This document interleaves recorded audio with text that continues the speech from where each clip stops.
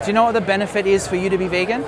Well, obviously, the benefit for the animals is that they're no longer tormented by you.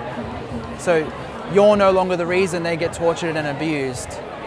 And then the benefit for you is that you no longer have to be a hypocrite because you say you're against animal abuse It's a great feeling, yeah. and you no longer have to be an animal abuser, right? You can live in alignment with the morals that you say you have.